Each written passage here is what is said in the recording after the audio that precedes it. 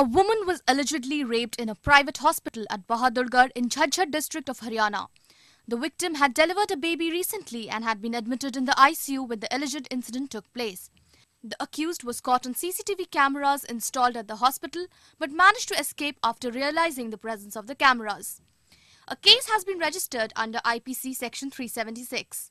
एक लड़की एडमिट हुई थी और उसको आ, एक बेटी पैदा हुई थी रात को कोई बंदा आया है, जो फुटेज में दिख रहा है, और उसके बाद एलिगेशन ये लगा है कि भी वो इनके साथ छेड़खानी करके और उसमें ज़बरदस्ती करने की कोशिश की बाकी इस मामले को हम हर एंगल से देख रहे हैं।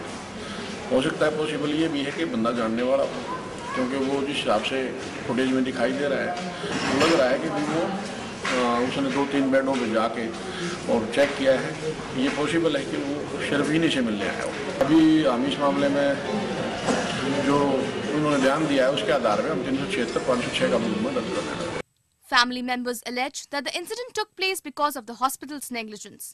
Meanwhile, the police are conducting raids in Bahadurgarh and the neighbouring areas to nab him. Correspondent Deepak Bharadwaj from Bahadurgarh, Haryana for ANI.